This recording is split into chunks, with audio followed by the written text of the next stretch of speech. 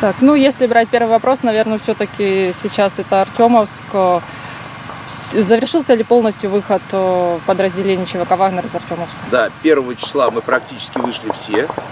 И как я и говорил о том, что у нас остались два специалиста, Бибер и Долик, да, которые должны спасти русскую армию, э, если вдруг будет опасно. Ну, на самом деле, 2 числа мы все вышли. Сегодня у нас 5, да? Сегодня 5, никого уже не осталось. И подразделения все э, частично вышли на линию Вагнера, практически все остальные вышли сюда, в полевые лагеря. Вот у нас уже добрые выстрелы пошли сзади, да? Это они, ребята, да, обучаются, тренируются. Значит, э, что происходит в Артемовске? Все позиции передали корректно, подписали все акты, все в порядке, все хорошо. Вчера поступила информация, она подтверждается о том, что сады на юго-западе Артемовска заняли уже подразделение ВСУ. Э, заняли почему? Потому что когда там были ЧВК «Вагнер», то, несмотря на то, что опасность высокая, тем не менее в садах зарывались, стояли и отражали любые попытки контрнаступать. Э, у Министерства обороны, к сожалению, другая тактика. У них тактика по принципу, что если есть очень хорошо укрепленный район, значит в нем можно находиться. А если нужно приложить усилия, то лучше не находиться пустоты в войне не бывает. Война пустоту не терпит. И поэтому в садах находится ВСУ. Если в садах ВСУ не выбить немедленно, а их надо выбивать постоянно, артиллерийским огнем, э, пехотой, то они зайдут сначала в Тетрис, после этого, и все остальное будет складываться в том же направлении, как мы и наступали, собственно говоря. И самое опасное, что это сложение – оно может оказаться гораздо более быстрым, чем наступали мы. Мы наступали 7 месяцев, а, после Попасной вообще год двигались по всем территориям. Если будет э, такое же отношение у подразделений Минобороны, как и сейчас, то я боюсь, что все в обратном порядке сложится за месяц-полтора максимум. А что в Солидаре сейчас? Там о, есть какие-то попытки тоже продвижения ВСУ? В Солидаре, значит, э, вот э, война, мы воюем, собственно говоря, сами с собой, да, как сказал Вагнер Дима э, еще в 2014 году. Мы воюем сами с собой. Поэтому наш менталитет, наш подход, э, наши все тактические шаги, они приблизительно такие же, как у противника, и у противника такие же, как у нас. Мы все выходцы из одной школы, с одной земли, собственно говоря, и э, учились в одинаковых приблизительно войнах. Ну, мы больше чуть-чуть войн прошли, ну не чуть-чуть, а мы больше прошли, как ЧВК Вагнер. Вот, поэтому э, у противника, у него э, понятная стандартная тактика. Сначала щупаем оборону, после этого вклиниваемся туда, куда пошло, и там наращиваем усилия. Э, с точки зрения Бахмута и Солидара есть две ключевые дороги, три ключевые дороги. С э, Часова Яра, со Славянска и с Северска. Если идти по трем дорогам, то понятно, что часть подразделений начинают разрезаться и попадают в капкан. Это украинцы и делают. Сегодня были потеряны э, позиции, утеряны, утрачены позиции около Раздоловки. Это у нас северное направление. Э, несколько дней назад они шли по дороге со стороны Славянска. Не сегодня, завтра пойдут с Часова Яра и добавят второе кольцо грубо говоря, попытки окружения наших группировки, они добавят ее по низу, подрезав со стороны э, Азаряновки, Курдюмовки и, собственно говоря, Торецка. Э, если начать отступать, то дальше будем, будем отступать сначала до линии Вагнера. Мы не будем отступать, мы сейчас здесь вот, да, сосны, все хорошо, готовимся. Э, подразделения Министерства обороны будут отступать сначала до линии Вагнера, а после этого и дальше неизвестно докуда. Э, тактика Министерства обороны, она порочная. Они все рисуют на картах и все ведут обманы. И поскольку, поскольку ведутся обманы, то руководство уверено, что все в порядке, э, рядовой состав понимает, что все, как говорится, полная жопа, а там где-то, правда, бегает туда-сюда посередине – и в итоге никто не знает, где кто находится. Поэтому главная задача Министерства обороны сегодня – это в телеграм-каналах и в СМИ играть в красивую историю, сохранять свое лицо, а в телевизоре говорить, что мы наступаем. На самом деле, то, что происходит сейчас на Артемовске, это приведет через две недели к серьезным э, тактическим просерам. А, вот если говорить, вот как вы упомянули, да, у нас э, младший состав, да, рядовые бойцы, они понимают, как бы находятся на земле, в чем, скажем, причины, да, каких-то проблем. А, наверху командующие этого не понимают, судя да. по всему. Как исправлять это, чтобы в короткие сроки, чтобы вот удержать то, что уже наработано? Не исправить. Вот сразу, я вам говорю, э, это не упадническое настроение, это исправить невозможно. Потому что о том, что это нужно исправлять, я начал говорить 19 марта 22 года, когда мы впервые сюда пришли. Управление отсутствует, э, планирование отсутствует, подготовка отсутствует, взаимоуважение отсутствует. И дальше все это замещается истериками наверху. Вот у нас сейчас, э, потом, наверное, коснемся этого, на запорожском направлении идет катастрофа. Это катастрофа при которой взято уже Новодонецкая, противник туда зашел. И э, если войска будут отступать дальше, отступление войск в глубину 5, 7, 8 километров, это значит потом бесконтрольный заход противника на любую глубину. И если ты заходишь на чужую территорию, которая исторически, грубо говоря, не твоя, да, там в обозримых там 10-15 лет, то ты можешь затормозиться, потому что идет сопротивление мирных жителей, требуются пути подвоза и так далее. Но мы же хорошо понимаем, что 50% жителей на этой территории, это как минимум, они будут помогать ВСУ. И поэтому, как только ВСУ зайдет чуть-чуть вглубь, то дальше они пойдут на Бердянск и на Мариуполь. И остановить их будет э, невозможно. То, что сейчас происходит, в руководстве Министерства обороны истерики – требование срочно наступать, требование срочно отбивать, и никто на землю не опускается. Шойгу и начальник генштаба уже давно должны были бы быть там, где им положено. Я Шойгу звал в Артемовск. Он не приехал, но ему надо было одеть бронежилет и проползти по Артемовске на пузе, потому что Зеленский ползает, Залужный ползает, этот... Вот она. Нет, Сырский. Сырский, да, да. Саша напоминает хорошо, лучше меня знает обстановку. Сырски ползают, все ползают. Где наши-то эти клоуны? Почему они не идут? И поэтому они ничего не знают, гонят от себя эту мысль. Кто приносит плохие новости, тот негодяй. Те, кто приносит хорошие новости, раздаются звезды героев России направо и налево, лишь бы новость была хорошая. Поэтому нам история уже этих ошибок сейчас не пустит, э, не э, простит.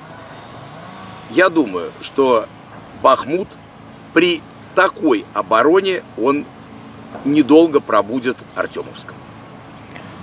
А что делать-то рядовым бойцам на местах в такой ситуации? Если рядовым бойцам в, так, в такой э, ситуации делать следующее.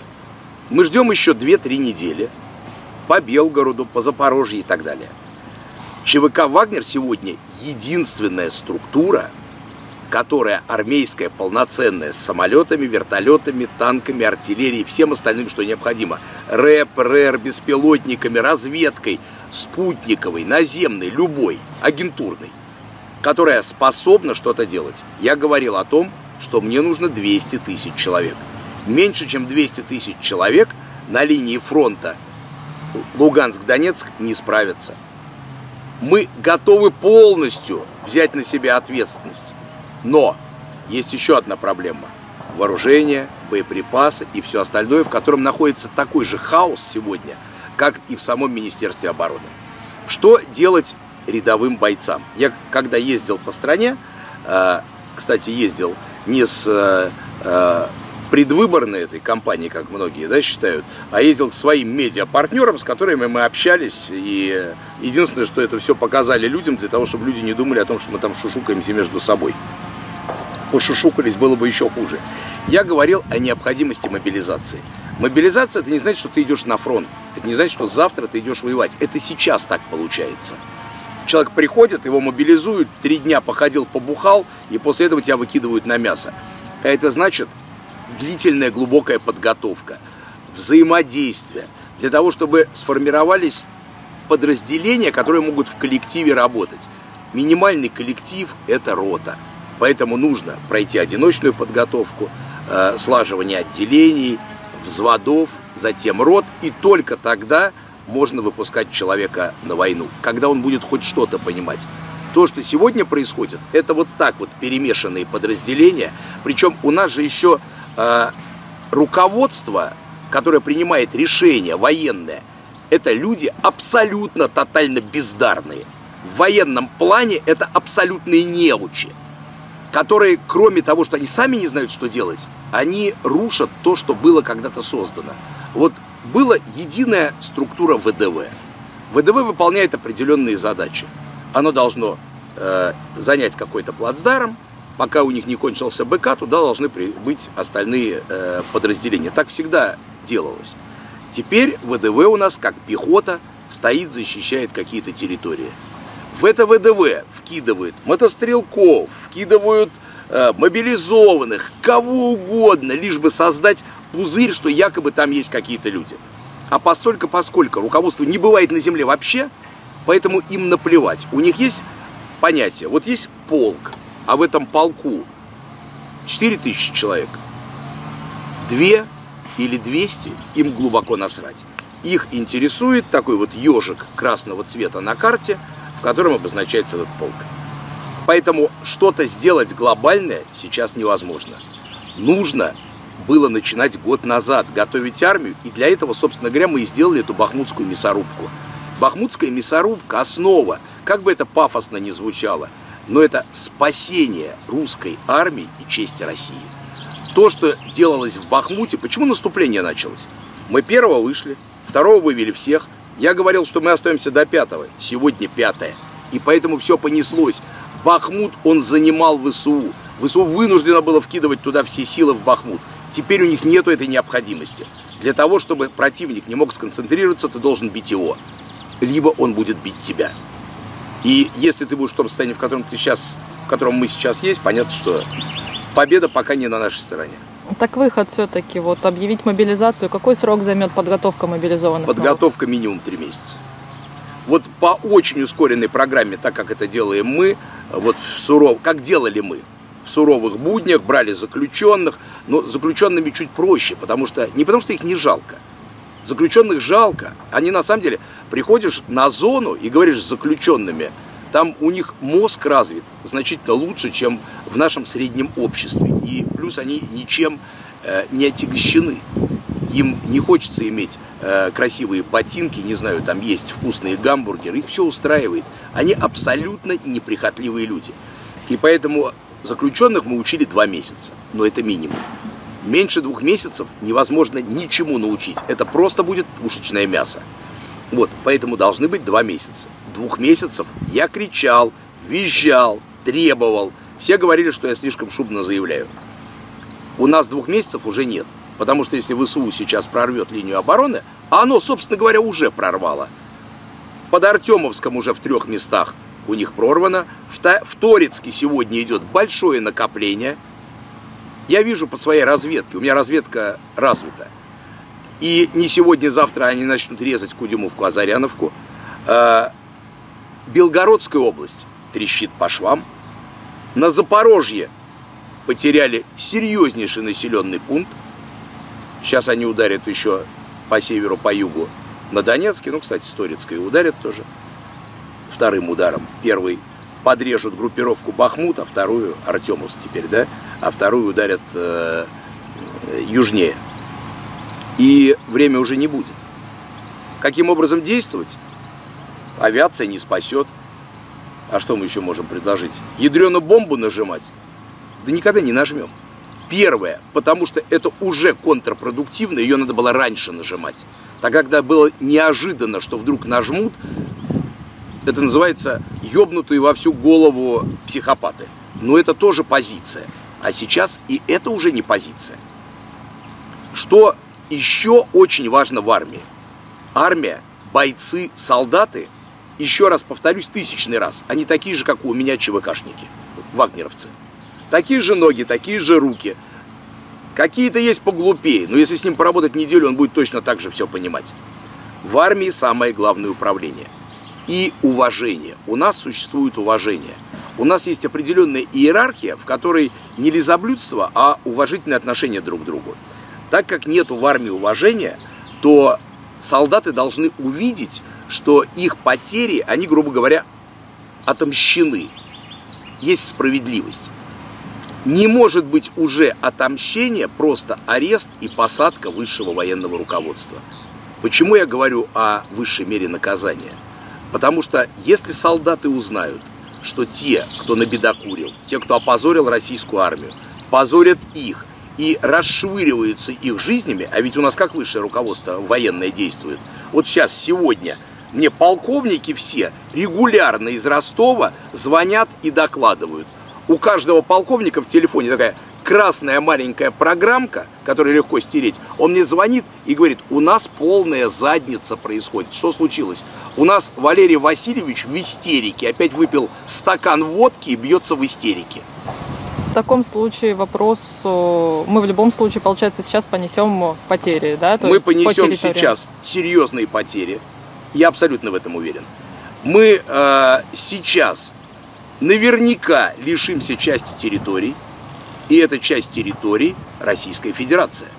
И опять же, когда делали тот самый референдум, кто-нибудь думал о том, что придется Херсон отдать?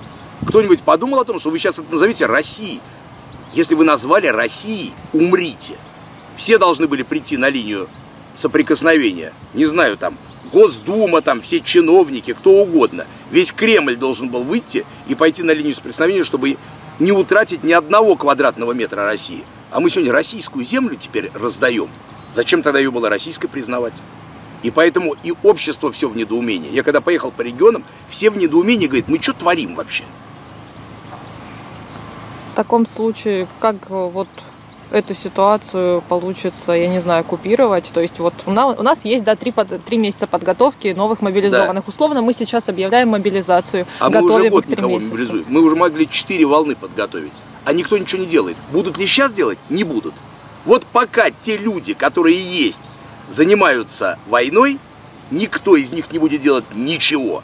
Ксюша Шойгу будет также проводить эти завтраки торжественные, Шойгу будет точно так же валять дурака и сидеть на Фрунзенской, а Валерий Васильевич Герасимов, начальник генштаба, точно так же каждое утро будет выпивать стакан водки и биться в паранойи, орать и визжать на тех, кто находится вокруг, требуя отбить территорию. А отбить территорию, это значит, если нормальная оборона, то погибнет 10 человек, а отбивая территорию, погибнет тысяча. Их матери, их жены и их дети придут и сожрут их потроха, тогда, когда, когда придет время. Будет либо народный бунт, либо Государственная Дума примет решение о высшей мере наказания и расстреляет их нахрен. И причем, я вам могу сказать честно, я думаю, что нам до расстрелов осталось месяца 2-3. Объясню почему. 24 мая я встречался с, э, с белгородскими э, тероборонщиками у нас, э, в нашем лагере подготовки. И тогда сказал им, я, хотя я раньше об этом всегда говорил, как только первый метр территории исконной, повторяю, Российской Федерации, можно считать, что это все у нас исконная территория Киевской Руси и так далее, да, но той, которая в договорах юридически э, находится под Россией.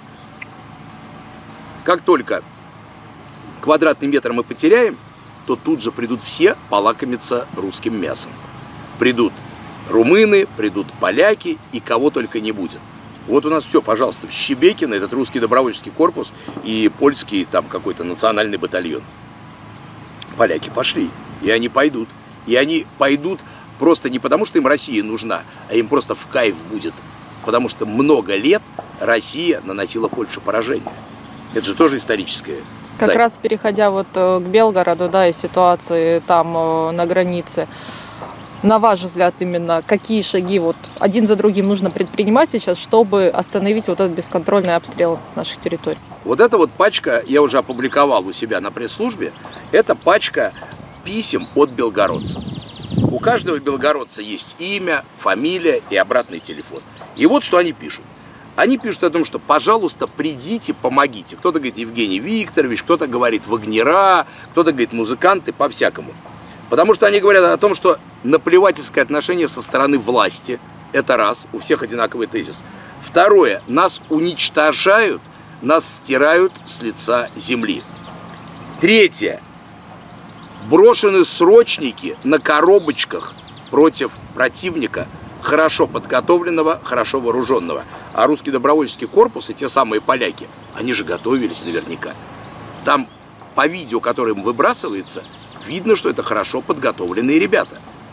Так вот, срочников кидают, и здесь они дальше все пишут о том, что Минобороны лжет о том, что был переход границы 70 нацистами, и всех их убили или выбили.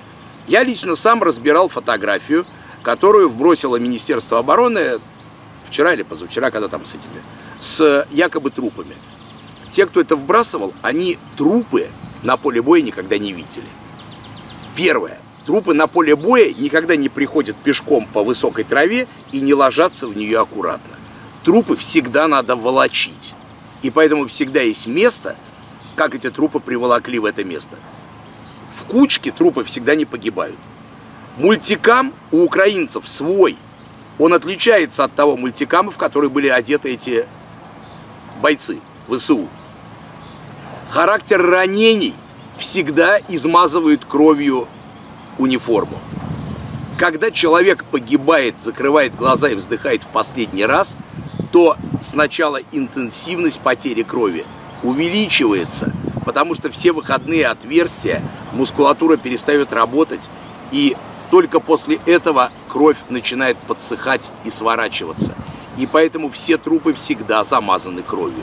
Я не говорю про кучу других всяких факторов, которые свидетельствуют о том, что это просто полный, извиняюсь, тотальный пиздеж, да, обман, который Министерство обороны рассказывает, как оно выгнало. То, о чем пишут люди здесь в этих письмах. И дальше люди пишут, нам нужно сделать Чили для того, чтобы нас защитили. Чили – это Пиночет. Чили – это элита Российской Федерации на стадионе, а вокруг люди с автоматами. Но прежде всего, это чиновничья элита – те люди, которые не принимают решения для того, чтобы защитить белгородцев. Поэтому я абсолютно уверен.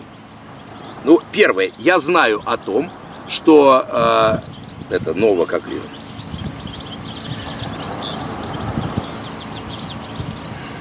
Но, новая это Волжанка.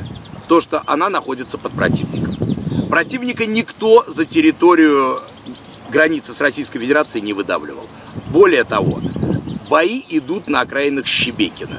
И вот эти вот все люди, они пачками об этом пишут. Дальше малообразованный, плохо подготовленный, трусливый губернатор Белгородской области, который вчера мог бы жопеньку оторвать, сходить и забрать пленных. Я абсолютно уверен, судя по поведению русского добровольческого корпуса, они не стали бы его кончать. Они бы оставили его в живых. Но он не пошел. Дальше. Он сообщил о том, что всем надо раздать дробовики. Ты, гаденыш, дробовиком когда-нибудь выходил против автомата или ручного пулемета? Ты понимаешь, докуда дробовик бьет? Ты понимаешь, какой степень, вообще возможность поражения противника из этого дробовика? Но, когда я предлагал им почти год назад, давайте соберем все в кучу, мне деньги не нужны, мне ничего от этого не нужно – я готов тратить время свое, своих людей. У меня куча раненых, которые могли это организовать. Когда я ему предлагал, давай займемся этим, то все, что они сделали, они просто пилили бабло. У меня ушел один человек из ЧВК «Вагнер», я его уволил. Потому что он ушел туда, прислонился к тем, кто пилит бабло, и начал с ними там что-то самоорганизовываться. Сказал ему никогда не повторять, что ты был в ЧВК «Вагнер». Люди пишут, уважаемый Евгений Викторович, мы готовы заплатить сколько угодно. Готовы заплатить за ядерную бомбу для того, чтобы вы защитили э, Щебекина и Белгородскую область. Они налоги платили, они честно жили, а кто-то бизнес имел, кто-то просто вкалывал. А где те люди, которые теперь должны их защищать? Эти люди просто тихо слились. И поэтому в других письмах они пишут. Мобилизованные бежали, Министерство обороны бежало, бросило все, и противник утаскивает на украинскую территорию вооружение и боеприпасы и технику, которые побросали подразделения Министерства обороны. Вот, собственно говоря, результат. Так в этом Щебекина сейчас Шойгу лично должен находиться. Я написал уже заявление в прокуратуру, в соответствующие департаменты, о том, что необходимо возбудить дела, провести проверку. Первое. По факту убийства определенного количества российских граждан. У нас статья от двух и более. Ну, явно эти два и более это под 50 тысяч уже. По моим подсчетам. Значит, второе. Это факт геноцида русского населения. Потому что у меня есть факты, и я глубоко уверен, что все эти действия, которые сегодня происходят от Шойгу Сергея Кожугетовича, это не случайность. Это геноцид. И третье. Мы не говорим сейчас о боеприпасах, вооружении, о том, э, те вопросы, которые надо задать. А вы вообще готовились к этой войне? А вы вообще проводили совещания? А вы вообще делали какие-то э, действия, которые определят, готова ли к этому армия? Вы делали накопление боеприпасов. Почему военное положение не потребовали объявить? Вы же могли прийти, выступить в Госдуме и сказать, уважаемые э, депутаты, мы просрали, у нас полная задница, надо вводить военное положение. И третий момент – это передачу врагу территории Российской Федерации, которую вы признали по Конституции. Не является ли это грех, который значительно выше одного пожизненного срока? Я думаю, что является. Вот. Поэтому сегодня в Белгородской области враг медленно продвигается в сторону России. Куда мы можем кинуть ядреную бомбу? Я думаю, что у них в мозгах сейчас свербит одна преступная идея. Если мы кинем ядреную бомбу по иностранному государству, то к нам накидают точно таких же. Конечно, по ним не накидают. Есть такая шутка в войсках о том, что сейчас два самых безопасных места в стране. Это штаб в Ростове, там где НГШ, и штаб на Фрунзенской, где Шойгу. Потому что враги никогда не нанесут туда ударов. Потому что это два святых места. Потому что если двух человек уничтожить, то может оказаться, что мы войну в итоге выиграем. Вот. Так вот, я боюсь, как бы у них не было паскудной мысли, ядреную бомбочку-то на свою территорию кинуть. И не потому ли мы отступаем в Белгородской области, давая им продвигаться, что по чужой кидать страшно, а по своей кинем – покажем, какие мы красавчики психически больные. Глядишь, ВСУ будет стоять в какой-нибудь деревеньке, а мы там типа тактическим ядерным оружием. С большим вопросом, если оно будет нормально работать, глядя на то, в каком виде они все остальное держат. Дальше идет, власть не шевелится, власть вас, нас бросила.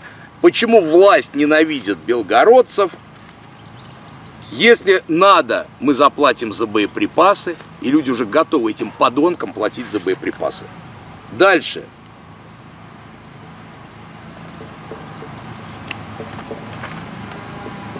Пишут. Такое ощущение, что бьются за 10 человек. Хотя и за них тоже надо биться. А нас в Щебекино живет 40 тысяч. То есть мы э, шли в Бахмут, где жило меньше, Украинцы всех вывели, и ВСУ с нами храбро дралась. А в Щебекино живет 40 тысяч, всем насрать. Завтра будет насрать точно так же на все остальное, там, где их нет. Кроме как на Рублевку. Вот хорошо, что по Рублевке долбанули в итоге. Вот. Дальше пишет родственница близкая одного из пленных, которых забрала, и спрашивают, можем ли мы его вытащить, можем ли мы его поменять, потому что срочники начали попадать в плен, и всем абсолютно до лампочки то, что они находятся в плену. Поэтому я считаю, Белгородская область зовут туда прийти. Первое, мы сейчас выходим, безусловно, какое-то время надо выйти. И второе, мы туда не сможем прийти, потому что нас будет блокировать все, кто могут, и не будут допускать ЧВК «Вагнер» до Белгородской области. Если ЧВК «Вагнер» придет в Белгородскую область, будет ничего не скрыть. А сейчас жители страны просто обманывают в наглую и говорят, что там более-менее все в порядке. И второе, нас хотели забло заблокировать и уничтожить в Бахмуте. И поэтому там находились эти взрывчатые вещества по нашей дороге. Конечно же, в Белгородской области страшно. О том, что придет ЧВК «Вагнер», от Белгородской области до Рублевки совсем близко. А вдруг мы поедем спрашивать, где там наши боеприпасы на Фрунзенскую набережную? А вы поедете? Спрашивать. Пока не собираемся. Но я могу сказать, э, безусловно, я сейчас только что со всеми командирами мы сидели, разбирались вот с этими письмами. Принято следующее решение. У людей желваки скрипят. Некоторые, когда я показываю видео с брифинга Минобороны, они хватаются за пистолеты трясущимися руками, в телефон тыкают. Ребята на нервах. И поэтому мы даем около двух недель Министерству обороны освободить нашу землю. Но если, блядь, они не освободят нашу землю, и если мы не будем уверены, а я потребую, чтобы нас туда пустили, потому что иначе они лгут своему народу. Если этого не произойдет, и если ситуация будет ухудшаться, то мы пойдем в Белгород. И мы будем защищать свою землю. Но мы потребуем, чтобы Фрунзенская переехала тоже в Белгород. Если умирать, то всем вместе. Мы не позволим доченькам и зятенькам сидеть, намазывать себе жопы вазелином, а чтобы простые бабки белгородские или дети, они подыхали как собаки. И поэтому этому товарищу либо он должен вернуться к своим историческим истокам. Он хотел стать губернатором Тувы, Московской области. Тогда надо вернуться, заниматься народным хозяйством. Может быть, это будет лучше получаться. В таком случае, вот пройдет две недели, да, получается, и можно сказать, что ЧВК «Вагнер» все равно пойдет в Белгород после этого срока. Если российская армия, мы, может, что-то не знаем, но э, можно предполагать, да, ну как, смотришь там, не знаю, на тещу, да, и думаешь, а вдруг это черт, да? И вдруг она, правда, раз там поскакала, рога вылезли, да? Можно предполагать примерно с такой же степенью вероятности о том, что вдруг выйдет откуда-то с Кубинки, с Мубинки там, или из парка Патриота, поднимутся эти железные солдаты и пойдут всех отобьют. Конечно, тогда мы не пойдем. Вот если они придут, тогда уже другой разговор. Вот вопрос, кстати, по поводу наших соединений да, на том направлении. А, нельзя ли сказать, что ВСУ пытаются вот какую-то часть э, российской армии, да, подразделений, которые находятся сейчас на севере, условно ЛНР, например, вот близко да, к Белгородской области, пытаются как раз-таки туда перемотить, чтобы освободить себе пространство для маневра другого? Конечно. Вика, так это самое главное. Это абсолютно нормальная тактика. Мы все учились как говорится, на одной земле. Они делают все правильно. Помните, воюем сами с собой. У противника точно такая же тактика и такие же мысли, как у нас. Если бы я сейчас управлял ВСУ, я думаю, мы бы уже под Москвой были. Они просто миндальничают. Потому что они растягивают, они бьют на Запорожье в двух-трех местах, около Донецка, на Артемовск, Сватово-Кременная, Белгород. Они будут наращивать эти удары. Леопарды будут приходить и приходить. Но мы-то должны были к этому готовы быть многократно. Мы должны были дождаться их ударов. Они должны были разбиться об нас, как об железную стену, и откатываться обратно. Либо мы должны были применять тактику Артемовска. Мы должны были взять Артемовск, двигаться на Часов Яр, двигаться на Славянск, двигаться на Крематорск, на Северск, дальше уходить опять на Красный Лиман, на Изюм. Мы должны были рушить их замыслы. А кто будет рушить? Мобики, которые два дня пробыли э, на полигонах, и которые здесь сидят и бухают, потому что не знают, чем заняться. Подполковники, которые бухие в говнище минируют дороги, пытаются стрелять там по нашим машинам. Нету управления, нету авторитетов. И те, которые есть, это ничтожество. Ну, кстати, вот вы упомянули, да, вышло это видео, сделало, так сказать, действительно много шума по поводу подполковника как-то сейчас эта ситуация к чему пришла? Да, значит, э, подполковник. А кто дал команду на минирование, отдельный вопрос. Значит, подполковник минировал не те части, не, не те территории, которые могли бы остановить противника. Он минировал вдоль дорог нашего отхода, зная, где мы пойдем.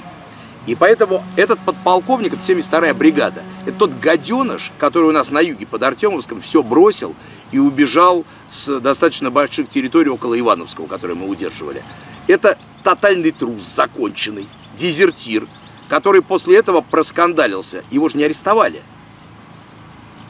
Все правоохранительные органы в курсе этой ситуации, его не арестовали для того, чтобы не делать себе э, пометку, что лишний дезертир появился. У нас же с дезертирами никто не борется. Просто чтобы мы понимали. Дезертиры уходят в тыл, в тылу бухают, и человек, который погибает на фронте, он говорит, нахрена мне это надо, я пойду дезертиром буду, буду сидеть дальше бухать. Посажены единицы. Сажать смысла никакого нету. В любой войне дезертиров расстреливают. И у нас должен быть возвращен расстрел. Но, чтобы дезертиров справедливо расстреливать, надо сначала расстрелять тех, кто просрал эту войну. Поэтому этот полковник, подполковник, после этого оскандалился в одном из госпиталей, куда он пришел с пистолетом в руках, пообещал прострелить врачу коленку для того, чтобы написали, что он ранен и контужен. Вот. Ну и дальше там уже понеслось Хорошо, что подхватили те органы, которыми там ФСБ и так далее, которые должны были им заниматься. И где-то он там сейчас чем-то занимается, в общем. И по нему ведется глубокая проверка. Ну вот говоря, кстати, опять же, да, публикация это видео многих других, э, существует мнение, что такие публичные, скажем так, э, э, выяснения отношений, многие это называют, многие называют скрытие проблем, да, на радость врагу, то есть это не несет нашей стороне ничего хорошего, но в то же время как-то еще больше дискредитирует на украинскую сторону. Вы так не считаете? Нет, мы молчали почти год. Почти год мы как овцы на убой шли, и дальше те, кто сидели, они потеряли руки, потирали руки. Общество должно знать, когда проблема тотальная. Вот вы приводите кого-нибудь, да, к врачу, ну или сами приходите к врачу. Вы же хотите знать, что у вас, правильно? Если есть опухоль, ее надо удалить. Если там еще что-то, это надо починить, там вылечить. Но сегодня организм настолько тяжело болен, что ему требуется тяжелейшая хирургическая операция. Если ее не делать, то у нас дальше на кону. Мы же не в игры играем, это же не футбольный мяч, матч. Это судьба страны. И если сейчас не исправить эти ошибки, если сейчас критически это... Ведь кому не докладывай, ошибки не исправляются. Я много докладывал по всем инстанциям о том, что происходит. Всем абсолютно насрать. Самое главное, чем занимается сейчас военное руководство и руководство других различных структур – это просто усидеть на своем месте. У них единственная задача. Когда началась спецоперация, и Шойгу с Герасимом просто по полной обосрались, они больше всего боялись, что их президент выпиздит, и все. Но они увидели, что их никто никуда не выпиздил. И поэтому теперь они абсолютно уверены в своей безнаказанности. А если они уверены, они ничего не делают для улучшения положения. Вот прошел больше года с тех пор, как мы воюем, в лучшую сторону не изменилось вообще ничего. Поэтому нужно об этом говорить и нужно об этом кричать. Вот если бы этого подполковника по законам военного времени расстреляли или хотя бы посадили, тогда другой вариант. А ведь выловили-то их в итоге на чем? Два человека ехало в Урале. Они обстреляли Урал, как он сам говорит. У него была группа 12 человек, и такие супер заряженные. И еще рота мотострелковая в запасе. Ребята, да если вы одного двух человек пытаетесь выловить количеством в сто с лишним человек, да кто вы такие вообще? Как вам не стыдно? По вашему мнению, вот эта хирургическая операция, о которой вы говорите, она вообще реальна в сегодняшней реально, системе? Реально. Первое, надо восстановить уважение армии к самим себе. Армия должна понять, что она хоть что-то может. Дальше те военачальники, которые есть, они должны находиться в окопах вместе с бойцами. Они должны пройти все сами и из ротных надо генералов воспитывать. Те там, условно, там до 10 тысяч генералов, которые сегодня есть на должностях, там порядка 7 тысяч, реальных надо оставить 200. Из остальных 6 800 их надо всех нахрен на пенсию отправить. Они не способны абсолютно ни на что. Когда ждать этих шагов или не ждать вообще? Я думаю, что не ждать. Не ждать. Потому что шагов никаких нет. Вот когда от Белгородской области покатятся дальше к Белгороду, когда будет под угрозом, там, не знаю, Тула, Рязань, там, Воронеж хотя бы, да, вот тогда эти шаги надо ждать. А пока им абсолютно насрать. У них же какая проблема? СМИ молчат, федеральные СМИ вообще полностью все убирают, а телевизор рассказывает, как все здорово. Володя Соловьев красный парень, но он не может выйти за рамки своих полномочий, поэтому он вынужден говорить то, что он говорит сегодня на передаче. Получается, у нас патовая ситуация. Какой из нее выход? То есть мы проигрываем войну? Мы ну, про... то есть, мы, ну, мы уже мы... проигрываем, я думаю, ее проиграем, получается, тогда, мы или до чего дойдет? день проигрываем войну, и все зависит от того, насколько общество мобилизуется. Если СМИ будут говорить правду, общество мобилизуется в разрешенном законном порядке и скажет вежливо, уважаемый Сергей Кожугетович, уважаемый Валерий Васильевич, группа неопределенных лиц, если вы немедленно не выполните определенные наши требования, то нам придется вас виртуально поднять на вилы. Вот тогда они вынуждены будут что-то делать, или тогда президент их уволит, сначала посадит в камеру, потом расстреляет и поставит тех, кто будет скрипеть. Многие из тех, кто есть, я говорю про 200 генералов, да, половина генералов надо сделать полковниками, отправить вперед командовать. Потому что у нас, у нас же генерал в стране это не работа, это счастье такое. Да? Поэтому, если ты получил генеральскую звезду, ты уже не можешь ботинки пачкать. Так вот, часть должны в окопы пойти. Хотя там, я думаю, что пару бригад или полк э, генеральский, чтобы им дать по автомату, чтобы животы скинули и пошли умирать за родину, можно сделать это лучше, чем мобилизованные или срочники сейчас в Белгородской области, которые погибают есть и люди, которые способны управлять. Есть те, которые там, не знаю, я сейчас их критикую, а через какое-то время они соберутся в кучу, когда не будет тех, кто их будет отмазывать. Потому что сегодня самое главное, вылезал задницу, ты хороший. Тебя никто не наказывает, тебя орденами награждают. И таких генералов у нас полным-полно. Они знают, про кого я говорю. Там были у нас в разных странах всякие клоуны, которые сейчас звезды героев России получают, якобы за взятый Бахмут. Э, существует мнение, что вот если общество поднимет э, власть да, на виртуальные виллы, как вы сказали, то страну поглотит такая смута, которая принесет еще больше проблем. Не поглотит. Не поглотит. Самое главное – очиститься от бюрократов, коррупционеров, которые просто должны уехать к себе на награбленные дачи и там жить. Вот тот же Сергей Кожугетович, да, дай бог ему здоровья, Жил бы он у себя на Рублевке в доме в этом много тысяч метровом, никому бы не мешал. Был бы министр обороны человек от Сахи, кто угодно из тех, кто сегодня работает генералов, из тех 200. Уперся бы он рогом, поехал бы он по лагерям подготовки, разобрался бы он с производством боеприпасов, с ремонтом вооружения и огромным количеством проблем. Но для этого надо работать. Министр обороны – это не политическая фигура, это пахарь. А у нас сегодня это человек, который думает, что он выше президента, выше Бога и выше российского народа. Поэтому войну можно выиграть, где-то заикариться. Противник не пойдет дальше, чем на 150 там, километров вглубь территории, потому что он э, встретит народное сопротивление. И народное сопротивление уже сейчас надо готовить, а не выдавать им дробовики.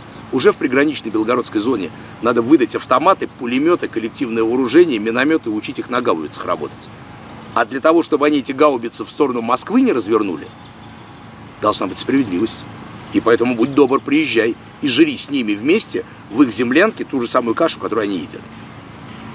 Но все-таки такого ожидать у нас довольно сложно. Надо требовать. А как требовать? Вот как я культурно сказать, пожалуйста, господа э, генералиссимусы, будьте добры, э, не сидите у себя в своих кабинетах, заприте своих доченек на ключ, желательно выпарите их как следует, а вперед теперь едьте э, смотреть, как воюют. Я поэтому Сергея Кужгетовича в Бахмута при, приглашал. Не потому что я его не люблю. Я просто понимаю о том, что он не делает ничего. И поэтому надо в Бахмут поехать, посмотреть, как там воюют. Я же там лазю, ничего страшного требовать должно общество. Общество сейчас мобилизовано, то есть э, вот Общество не говорят, мобилизовано до конца, потому что СМИ говорят то, что хочет та военно-преступная верхушка, которая сегодня управляет ситуацией. И поэтому, если СМИ говорят правду, если люди видят, что на самом деле происходит, если журналисты приезжают на похороны срочника, 20-30 человек, и говорят, суки, твари вонючие, вы что сотворили? Этому парню было 18 лет, а его приятель, сослуживец, расскажет, что они стреляли два раза до этого и не знали, как им действовать, и никто им никаких команд не давал. И если посадят того, кто этим занимался, тогда я считаю, что можем поменяться. есть еще что добавить, что вы хотели бы сказать так, насчет чего-то? Да, значит, а, теперь смотрите, теперь что касается армии, да, разрушение армии за последние э, много лет на самом деле. У меня был приятель, который работал э, в охране Сердюкова. Каждый раз, когда он уезжал от министра Анатолия Георгиевича Сердюкова, он так всегда дергался за табельное оружие и говорил, война начнется, я этого гада первым пристрелю. Такая же ситуация сейчас и со многими новыми военачальниками. Поэтому армию отравили еще не при Шойгу, но он ее добил. Вот, смотрите, у меня есть Лотос, да, тот самый герой России, который брал Солидар, который сыграл важную скрипку в Бахмуте и который одержал еще огромное количество побед.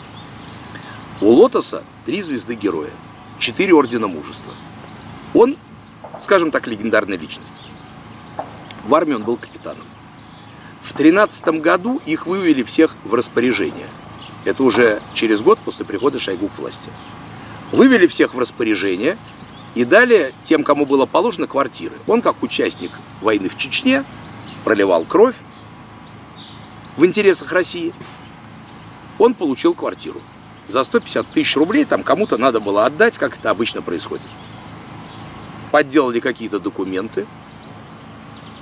Эти документы оказались липовыми, хотя он к этим документам не мог никаким образом даже прикоснуться и 36 человек отдали под суд. Забрать у них квартиры. Из 36 человек 33 человека командиру части заплатили по 800 тысяч рублей. Их отмазали. А трое сказали, идите в жопу, потому что у них было повышенное чувство справедливости. И их осудили. И Лотос, слава богу, пришел ко мне. В 2014 году сказал, меня выперли из армии, сказали, что я подделал документы, я никаких документов не подделывал. И вот результат. Так вот, тот командир части, который все подделывал, он уже генерал. Я его недавно видел. Омерзительный алкоголик. Тупой, просто, просто слабоумный ублюдок. Больше никак не скажешь. Этот слабоумный ублюдок, в том числе, кстати, сейчас на Бахмуте там кое-что профукивает. А Лотос, он взял Солидар, и у него три звезды героя – России, ДНР и ЛНР. Так вот, когда Лотос был капитаном, не надо было его обманывать. Не надо было пытаться с него срубить 800 тысяч рублей. Надо было отнестись к нему с уважением, потому что он не хотел лишних никаких благ, он не воровал. Все, кто воровал, они заплатили этого отступного, да, далее. И в армии сейчас был бы тот самый капитан Лотос, который брал бы Солидар, а капитан Лотос у меня – и так, как я уже говорил, 6 тысяч человек из 6,5, которые есть в стране. Поэтому армия в полной заднице. Вылезал задницу, занес по очереди на самую верхушку, ты в армии. И поэтому армия была до начала войны, пока остается еще частично, это социально-распилочный лифт. Там, где просто пилят бабло, государственный бюджет. И поэтому все те 3,6 там, триллионов, которые закидывались армию, это все в, в холостую уходило. Просто впустую. Делали собачек на выставке, помните, это знаменитое с гранатометом на спине, которые гуляют. Но самое главное профукивали. Профукивали хороших офицеров, которые могут что-то достичь.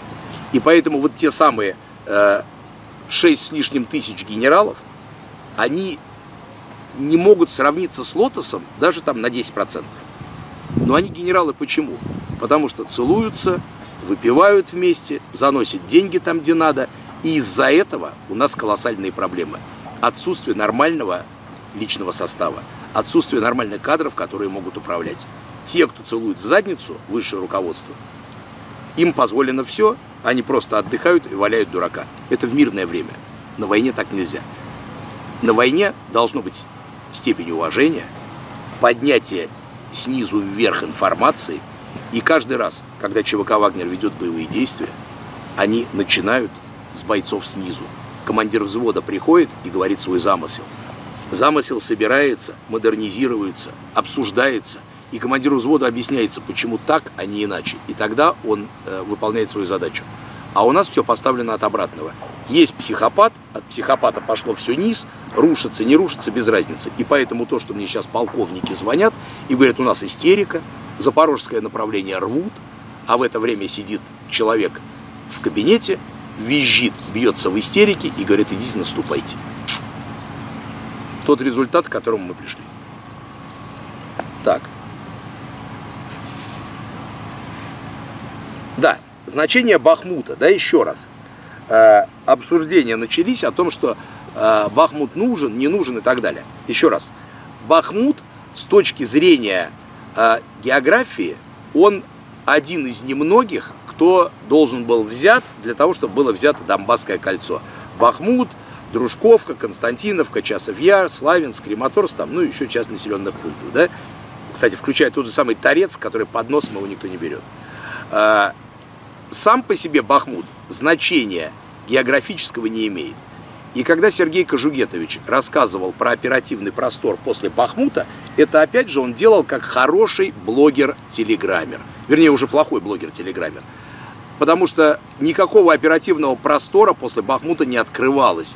После Бахмута идет канал Сиверский Донец-Донбасс, который, чтобы перейти на ту сторону, еще, как говорится, как наплачешься, да? Вот. Поэтому это полная чушь, и еще раз подчеркивает абсолютно полную военную неэрудированность, бестолковость, неподготовленность. Вот. Бахмут был нужен только как бахмутская мясорубка.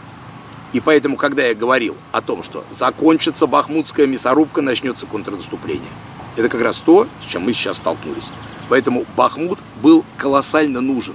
Его надо было затягивать и дальше. И тянуть, и тянуть в ВСУ. И тогда бы контрнаступление не началось. Но нужно было готовить людей. Почему мы закончили Бахмут? Почему мы взяли? Потому что нам дали раз боеприпасы, и мы за 10 дней его захлопнули на боеприпасах, которые нам дали там 30% от того, что нам требовалось. До этого получали 11,5, как я уже говорил. И если бы мы Бахмут тянули, то мы бы протянули контрнаступление. Но за это время надо было подготовить войска, накопить боеприпасы, накопить вооружение, э, сделать все соответствующие планы. А так как это время было просто выкинуто на помойку, то и, собственно говоря, мы понимаем, что жертвы, которые мы понесли, почти 20 тысяч человек, это тоже просто все в бесполезную бездну выкинуто. Все, что мы сделали, ну это на самом деле это важный момент, мы спасли эти 20 тысяч жизней у мобилизованных, потому что иначе погибли бы они. Ну вот если возвращаться да, к теме Артемовской, всей ситуации, которая там складывалась, боеприпасы в частности, вот есть военнослужащие из армии, да, которые говорили мне, что помимо стрелковки, да, боеприпасов им не хватает и сейчас. Вот они как раз на одном из флангов стоят. Значит ли это, что вот проблема ну, не решена в плане то есть, производства именно боеприпасов? Смотрите, э, что касается производства боеприпасов. Значит, боеп... производство боеприпасов. Э, в советское время выпускали X. Нам сейчас надо X умноженное на 10. В постсоветское время выпускали X деленное на 10. Но мощности, которые сегодня есть, их полностью хватает. И Десенков с Мантуровым, они показали за несколько месяцев, что динамика роста выпуска боеприпасов, она может быть такова, что к 1 июня этого года мы должны были выйти на полную потребность плюс 20% накопления. Первое никто не составляет никакие планы. Я заказывал один из видов боеприпасов, чтобы не рассекречиваться, не буду говорить какой, который у нас закончился. Я взял директора завода, он мне сказал, что он готов производить это, там, условно, 10 миллионов штук в год, и у него есть все для того, чтобы производить. И сказал, что на 10 миллионов штук в год, там, условно, там, с 500 тысяч, то есть в 20 раз нарастить э, объем, он может за 6 месяцев. Этот разговор у меня состоялся с ним в июле прошлого года. На сегодняшний день никто с ним контракт не заключил. Потому что Министерство обороны до сих пор не передало, сколько нужно этих боеприпасов. Там сидят люди, которые слабо понимают, чем один снаряд отличается от другого. Чем отличается 152 миллиметра от, там, не знаю, гиацинт отличается там от э, 2,65 там, или еще что-то. И поэтому эти люди, они не могут спланировать ничего. А когда им подчиненные говорят, извините, надо так, то подчиненный не может давать советы своему начальнику. Начальник самый умный. Ведь в бизнесе всегда как происходит? Хороший начальник, когда под ним сидит десяток замов, которые в каждой своем направлении значительно умнее, чем он. А у нас другая на сегодняшний день философия. У нас сидит сегодня начальник и все остальные говно, которые просто должны выполнять его прихоти. Поэтому заказ правильно не ведется, производство простаивают, и при нехватке определенных видов боеприпасов ко мне обращаются люди, звонят и говорят, мы можем произвести вот это, вот дайте нам возможность. Я ради интереса еду к ним на производство, со своим пониманием, у меня еще есть несколько человек, которые бывшие директора, красные, как говорится, этих крупных заводов, которые на пенсии, они подтверждают, говорят, да, они, он действительно прав, он может это произвести, но никто с ним даже контракт не заключает. Никому это не интересно. Дальше вооружение, замена стволов. Любой танк там держит, там любая гаубица держит определенное количество выстрелов. Там много всяких проблем, которые необходимо решать. И весь этот узел, он закручивается, закручивается и закручивается. И если бы мы поменяли военное руководство страны год назад, то мы сейчас были бы боеготовы. Если его поменять немедленно, может быть, мы что-то уже профукаем. Единственное, что радует, могу сразу сказать, стрелковые боеприпасы вообще не нужны, это стрелковые, артиллерийские, в лесополосе. Вот как только мы уйдем на линию Саратов, Псков, как в Отечественную войну, и пойдут партизаны, можем с пулеметами автоматами бегать. Мы, кстати, уже создали на всякий случай э, взвода э, снайперские, и э, э, э роты снайперские, и пулеметные взводы. Вот, поэтому решение никогда не поздно принять. Главное его наконец-то принять. Ну вот, подводя итог, да, принять решение Надежды у вас лично есть на это или нет, что оно будет принято? У меня есть надежды на следующее. Первое. Средства массовой информации перестанут врать. Второе. Народ увидит всю катастрофу. Не когда к ним уже придут. Как щебекинцы ведь тоже думали наверняка, что э, пронесет. Вот не пронесло. И третье. Когда политическое руководство будет вынуждено сделать определенные шаги для того, чтобы все не профукать. Иначе может все закончиться и гражданской войной, и революцией, и захватом наших территорий, чем угодно. Хорошим ничем не закончится. Спасибо большое. Вопросов не больше нет. Иссякли. Зато погода хорошая.